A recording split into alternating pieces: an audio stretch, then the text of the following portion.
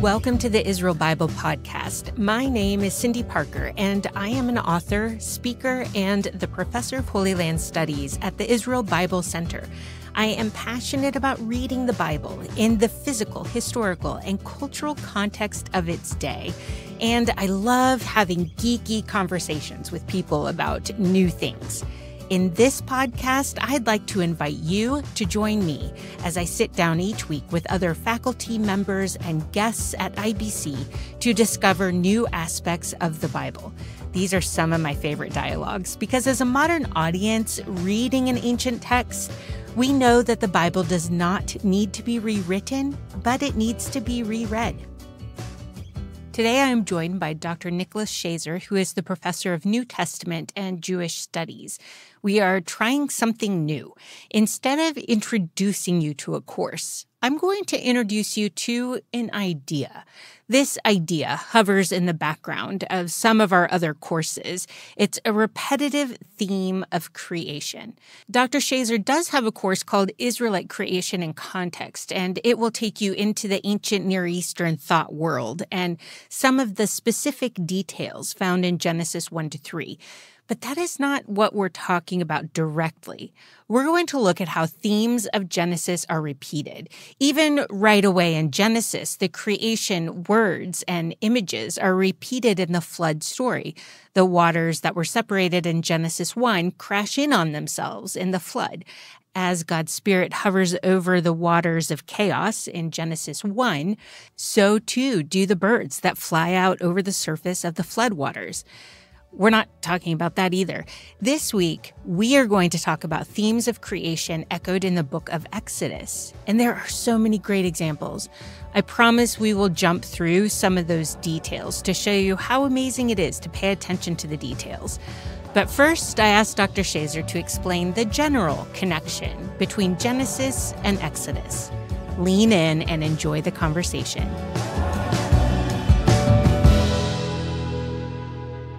Well, the book of Exodus, obviously, it, it, follows from Genesis. So, just from a basic narratival perspective, what we want to be thinking about is how these how the Bible functions, what's called canonically, and that is, you know, a reader of the biblical text as we have it today is going to have gone through Genesis and wound up in Exodus. And when we get to the beginning of Exodus, even the first chapter, we see uh, echoes of what we heard in the first chapters of Genesis. And so it's pretty clear that the writer or writers of Exodus want us to make those links to Genesis and in particular the creation story. So for instance, uh, the first command that God gives human beings on the sixth day after creation is for them to be fruitful and multiply and increase. Well, the same terminology appears in the first chapter of Exodus when the Hebrews are enslaved in Egypt. And despite their slavery, it seems that they're thriving. And in fact, the Hebrew is exactly the same. It says that at this time, the Israelites were. Uh, you know, being fruitful and increasing and and multiplying and filling the land.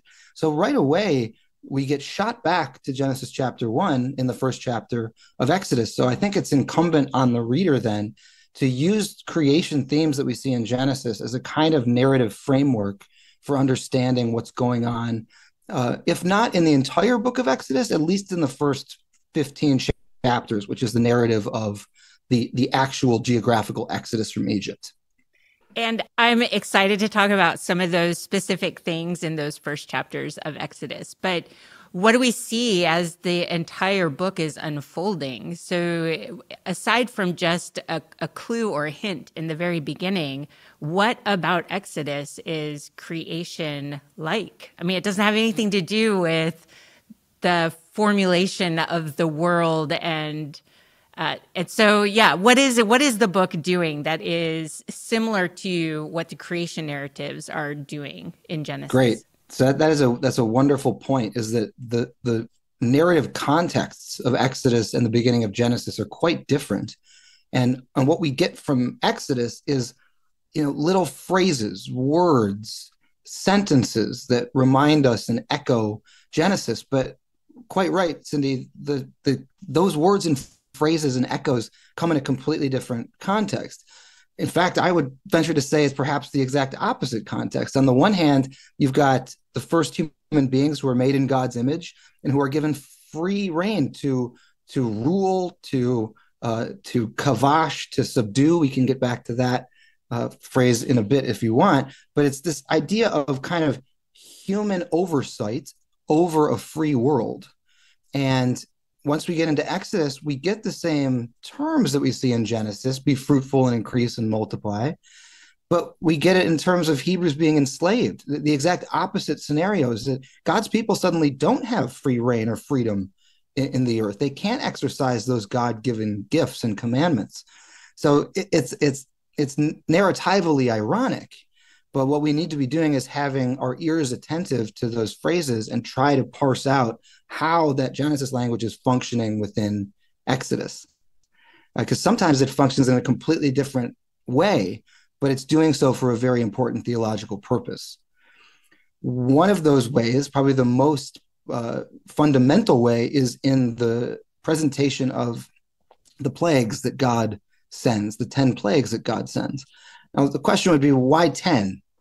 Mm, why not seven? So seven is the number of completeness in the Hebrew Bible. There's a reason that God w- works for six days at creation and rests on the seventh day because the number seven equals perfection, completeness. Uh, what about three? Three is the number of a, of a climactic event. Um, Jonah is vomited from the great fish after three days. Hosea famously says that after three days, God will raise us up so that we may live with God. Uh, on the third day, God comes down onto Mount Sinai uh, with Moses and gives the Torah. Mm, there's no surprise then, or it's not a coincidence that Jesus is in the ground for three days before he's raised from the dead. So why not three? That would be perfectly fine as well. That is the symbolism of seven and three is fine. Now, what's interesting is you add seven to three, and what do you get? 10. Uh, and and so what what the Bible wants us to do is put those two numbers together. So what we have in 10, the number 10 is this idea of creative power on the one hand, which with seven, that's God's creative power at in Genesis chapter one. And then the number three is something climactic is going to happen. Uh, and so the, the very number of 10 is preparing readers for understanding what's going to happen in the Exodus narrative. Now, um, 10 also functions as a recollection of Genesis chapter 1, which uh, in which God says, well, I should say the, the Hebrew word vayomer, which means and he said, but it's it's with reference to God speaking. So we're all familiar with this narrative. God speaks things into existence. Um, God, and God said, Yehi or, Vayehi or, let there be light, and there was light. Well, there are 10 instances of and God said in Genesis. So there's no coincidence here that there's 10 plagues. Why is that theologically important? Because for every plague in in Exodus, God is actually undoing what God had done in creation. If you want, Exodus is displaying the negative inverse of God's positive creative actions in Genesis chapter 1. Is that supposed to mean that for so God separates light from darkness and dry ground from the wet water? Is that the exact undoing, or is it a little bit vaguer than that? It's God says 10 times, and then there are plagues that rain havoc on the Egyptians. Or can we actually one to one parallel what God said, the order of creation and the order of the plagues? Uh, so that's a great question. You can't exactly one to one parallel. That is, uh, well, I should say, I should back up. You can indeed parallel these the God's creative actions with the, the plagues that God sends. You can there's a one to one relationship between these. However, it's in different order. So, for instance, what do we get at the beginning of Genesis? I just said it, you know, Yehi or, let there be light. And there was light, and God, Vayavdeel Elohim et or uvein hachoshek, that God separates the light from the darkness. So you'd expect maybe that the plague of darkness would be the first plague then, um, but it's not. It's like the penultimate one before the deaths of the firstborn. So it's in different order, but but just notice that one of the plagues is darkness, is is choshech in Hebrew. And that's exactly what God combats with the light of, of Genesis 1. So God infuses light into the world in order to separate from the darkness. But in the plagues, God sends darkness. Thereby, it's the exact negative inverse of the work that God had done at creation. There's a reason why the last plague is the death of the firstborn. What's the last thing God does at creation on the sixth day? Create humanity. In the in the plague narrative, God is taking that humanity away. So there's an absolute one-to-one comparison. It's just that they're not necessarily in the same order. I'll give you I'll give you one more quick one. Let's go to the first plague, which is the uh, the the Nile River, and then all of Israel, uh, Egypt's rivers, um, water sources, even the cups that they're drinking out of, become tainted with blood. And there's a really interesting um, phrase that Exodus uses, and that is that the Egyptians saw that all their quote pools of water had been contaminated with blood. Well, the word for pool there will be uh, familiar to some of our listeners and our readers. Uh, it's the Hebrew word mikvah.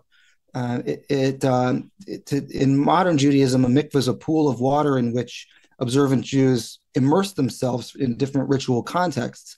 Um, and it comes from kavah, the, the verb which means to gather or to pool together water into one place.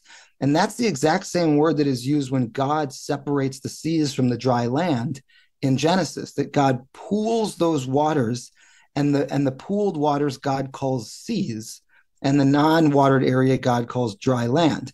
So even the same language, the same phrases show up in Exodus, except here in the first plague, it's a it's a almost destruction of that clean, separated, organized water system that God creates in the first chapter of Genesis. It's a it's an undoing of creation. It's a it's it's it's actually a, a better way to put it might be to say, look, what does God do in Genesis 1? God creates order out of a messy world. Um, what God is doing in Exodus is taking that ordered world that God created and making it messy some of those things you only really get when you're looking at the original language, which is something which is fun, even for the students of IBC. You don't even have to do a whole entire course to get some of these tidbits because you write about this. Our faculty is writing these articles, and there's fun little tidbits of how the language helps you read the text better that we get. Um, I'd like to ask, since you were talking about the plagues, Several people have probably heard about the plagues, maybe not the creation connection, but that the plagues were associated with Egypt's gods. And you have an article where you talk about the eighth plague in particular, the locusts. I think it is locusts that cover. And then we often have in English something like the face of the earth or something like that. But you bring out not only the this conflict with an Egyptian god, but also this creation narrative context. I'd love to talk more about what you see in the eighth plague. Yes. So, uh, in terms of the plagues being a response to Egypt's gods, that may sound strange, particularly for Bible readers who are, uh, you know, grow up in Sunday school being told that only one God exists in the universe. So that's a little bit tricky. That's what's called monotheism them. But the, the worldview of the Bible is not that only one God exists in the universe. Rather, uh, the biblical authors um, believe in a in a world in which many gods exist, but that their God, the God of Israel, is the best God. This is what scholars like to call henotheism, um, or sometimes it's called monolatry. But that sounds too much like idolatry to me, so I tend to I tend to stay away from that term. Uh, henotheism means that there are many gods that exist, but one God is worthy of worship. One God is the true God. Or oftentimes in the Bible, you'll notice that the God of Israel is called the Most High. This is a very common name for God, and it's one that modern readers just kind of skip over without thinking too much about the implications of the of the phrase. Because if God is the most high God, that means there's more than one God out there to be higher over a most high God, if one God exists, it's it's I don't know. Uh, I would say a useless phrase, a meaningless phrase. So the, the idea in Exodus, as as everywhere else in the Tanakh, in Israel's scriptures, and I would also venture to say throughout the New Testament, um, is that that many gods exist, and the God of Israel is the most powerful and the one truly of truly worthy of worship. And sometimes the God of Israel has to militate against other nations' gods? Well, Exodus 12 12, which is a very easy verse to remember, it can be a memory verse for, for anyone who wants it. 12 12, which says, God says explicitly, this is not the narrator speaking, this is the God of Israel speaking, saying, The reason that I sent these plagues and, and got you out of Egypt is to execute judgment on Egypt's gods. It's very, very plain. And so, what that offers us is this idea of looking at each plague, everything that God does there, in terms of revenge against Egypt's gods. And one of the most interesting instances of this is uh, when the locusts come. God sends the locusts. And Cyndi, as you noted, oftentimes it's like the, there's so many locusts and they covered the whole face of the earth or covered the face of the land. Now, English translators know good and well that that is not what the Hebrew says. What the Hebrew says is that they covered the eye of the land. It's just that a lot of English translators don't a don't really know what to do with that, and b realize that that sounds weird to to contemporary English readers. Like, what does that mean? Covered the eye of the land. Well, if you look into Egyptian theology, Ra is a very important deity. This is the deity associated with the sun, really the chief deity of of many historical phases of Egypt's history. And so Ra is associated with the sun. And in certain Egyptian texts, it actually says that the sun itself is the eye of Ra. So the notion is that through the sun, the god Ra is looking over the whole of the land of Egypt, observing, you know, watching over Ra's people. And so when the locusts blind the eye of the land, they are, for lack of a better way to put it, the God of Israel is giving Ra a black eye. Uh, they're they're in a boxing match, and this is round eight or whatever the plague is. Uh, and but when you when you take away what the Hebrew actually says, it, it undercuts the project of the of the narrative in Exodus, which is again Exodus 12, 12, to execute judgment on Egypt's gods. How better to do that to the chief deity Ra than to cover Ra's ability to see Ra's people. it doesn't actually take, you don't have to be a scholar in hieroglyphs even to realize that. It's just, you can just Google Egyptian hieroglyphs and Ra is going to be there somewhere. Uh, That's it, right. He is everywhere in the mm-hmm. hieroglyphs depicted as like a flying disc or at the top of a pyramid yes. or something like that. Yeah, good. So yeah, that disc imagery, uh, we, we get that for on the disc is the disc of the sun. Um, and so, yeah, that that um, you know, it's I always think it's kind of funny that you know the Hebrew word for Ra means evil or bad, uh, and there's there's I mean there's all sorts of historical things you'd have to to pull apart to get to the bottom of that. But I just find it kind of funny, at least from a narratival perspective, that any ancient Hebrew reader who's reading the Exodus narrative knows that the word for Ra would mean bad to them. And they also know, certainly the authors know, about the existence of Ra and how important Ra is in the Egyptian pantheon. Okay, so numbers are important, but maybe they don't symbolize what we think they do. Take the number of days recorded in the creation text. In the first three, God creates places. In the next three, he populates the places with what will flourish there. On the seventh day, God rests. There's a tremendous theology packed into these verses. But I know Dr. Schaser has written a couple magazine articles that are published on our website. I asked him to take concepts from those magazine articles and explain what the number seven means in this narrative and what we sometimes miss out about God's rest. The number seven in Genesis is functioning to symbolize uh, perfection or completeness. And the number seven functions in this way throughout Israel's scriptures.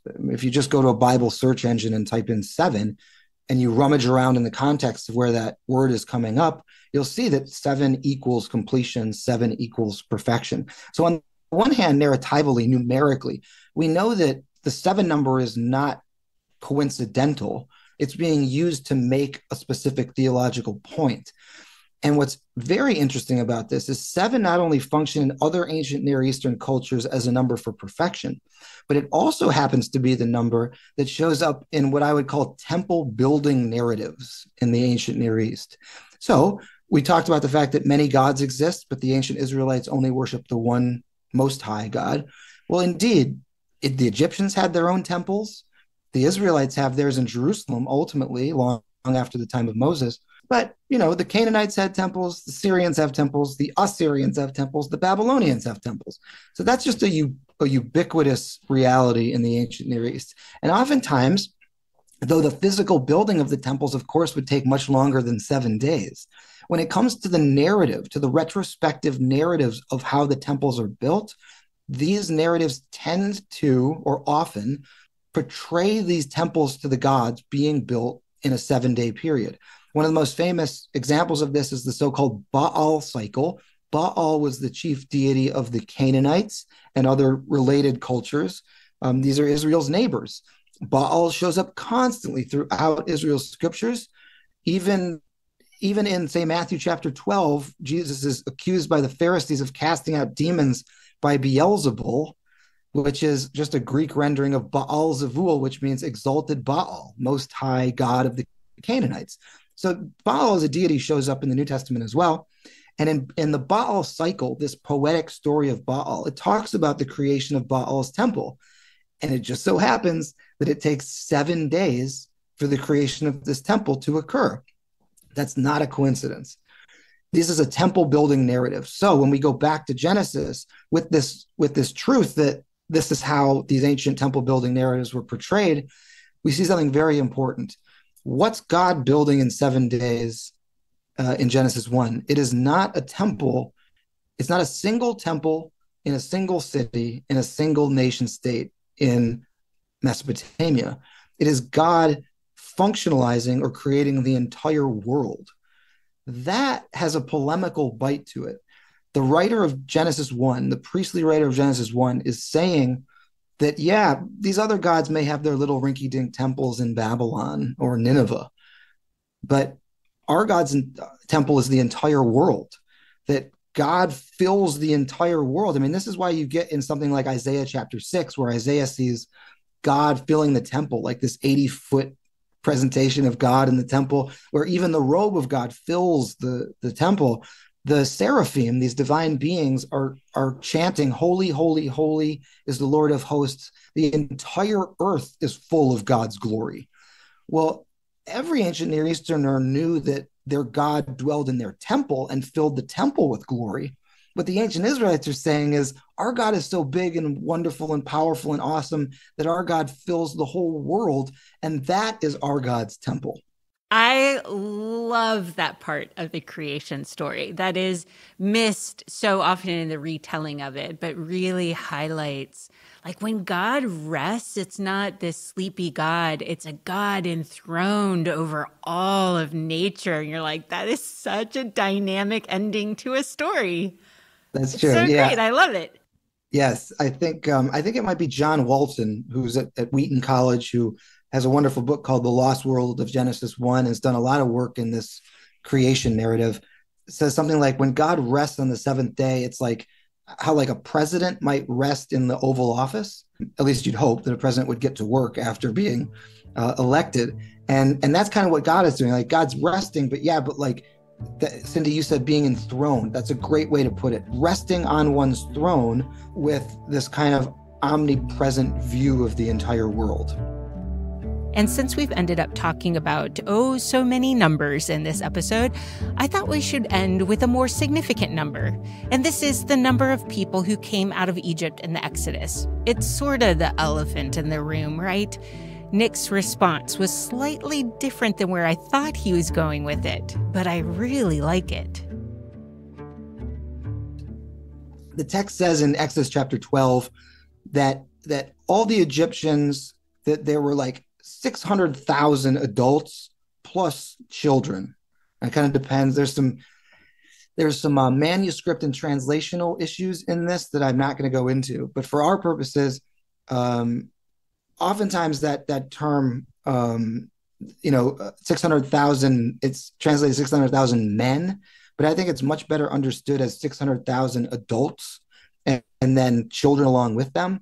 So either way, the number that we get for the the people coming out of Egypt is 600,000. Now it's really interesting.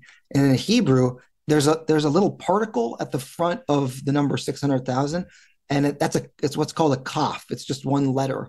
And a kaf at the start of a word means about 600,000.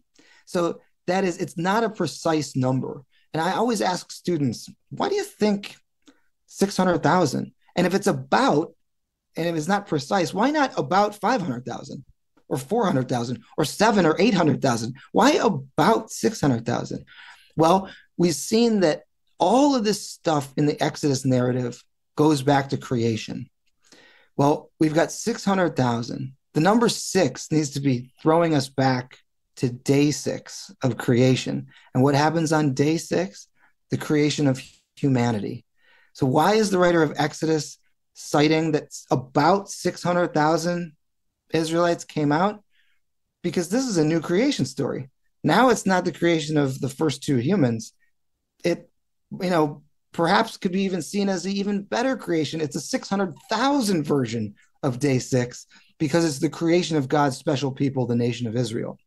Uh, why that's important? A, it's a wonderful theological linkage. Um, and it shows again, it really undergirds this idea of Exodus as a new creation narrative. But at the same time, a lot of people get caught up with that number and they say, well, if there's 600,000 men, and again, I, I think that we can translate that term that is usually translated as men as adults, but even so, okay, well, that but there's more than 600,000 people. By some counts, it's something like 2 million people. And, and, and archaeologists, God bless them, and even you know people who are skeptical of the Bible who do YouTube videos in their mother's basements, they, they read that number and they go, there's no way that amount of people could have come out of Egypt and wandered around the wilderness and what we don't have any archaeological evidence for that? And there's no way they would have made it out because the Egyptians wouldn't have allowed that and it would have been a logistic nightmare. Could you imagine all those people? And I just want to say let's take a deep breath here. The the the authors of Exodus are artists they're doing theological art and then, again the number is not precise it's about 600,000 why because it's kicking us back to Exodus. It's trying to make a theological point about the greatness of this new creation. It is not trying to show you some precise historical number about the amount of people that came out of out of Egypt. So that is th- that line about 600,000 has nothing to do with the historicity of Exodus at all. It doesn't certainly doesn't devalue the historicity of Exodus, but it's also the how about this? In the Bible, most often the numbers that the biblical authors use have a much deeper meaning than the digit on the page. That's something that, that readers have to understand or they will miss the beauty, the art, the theology of the Bible. The numbers gives very specific numbers, you know what I mean? Like 178,064. Why not do that? Yeah. you know? um, but if we but if we see the the the plagues as this undoing of every day of creation and then a rebuilding of that creation, who should the, who should be the ones who are rebuilt? Who are the humans in this story? It's the Israelites. And we're going to take that one step further next week. Until then, go have fun poking around through the magazine articles on IBC. I will warn you, it's a source of many rabbit holes. If you love conversations like this, join us at Israel Bible Center, where you will have access to many amazing courses that dig into the details of culture and interpretation. You can even earn credit towards Israel Bible Center certificate program in Jewish context and culture. Thank you, Jeremy McDonald from Mason Jar Music, for doing an amazing job editing, mixing, and adding in all the good music. And thank you for hanging out with me and being curious about all things Bible related.